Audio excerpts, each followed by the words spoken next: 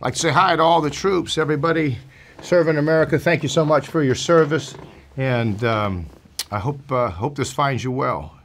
All the best, guys. Uh, thank you very much.